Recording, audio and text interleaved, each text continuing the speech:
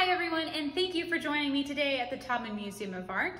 We are currently in the exhibition Huntopia, taking a look at one of the works in the museum's permanent collection. I'm gonna let you observe her. And as you observe this painting, consider the subject, what she's wearing, how she styled her hair, and perhaps even what she's thinking.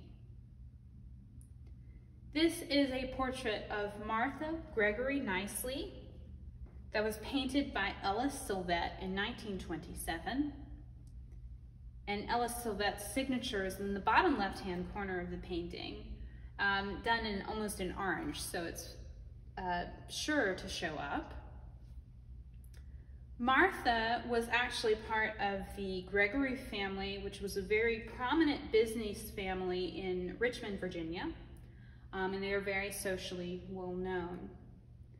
While we don't know the exact reason why this portrait was painted, um, it's interesting to see Martha and to observe how she styled her hair in the very 20s fashion here.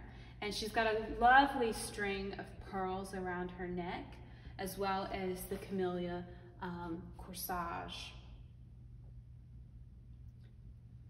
This is a fantastic piece that's within our permanent collection um, that kind of gives you a, a, way to think of a story, um, who this person is, what they're thinking. What would she be thinking looking at us now? Perhaps she's considering us in the same way we're considering her, how we've styled our hair, what we're wearing, what we're doing, what our story is.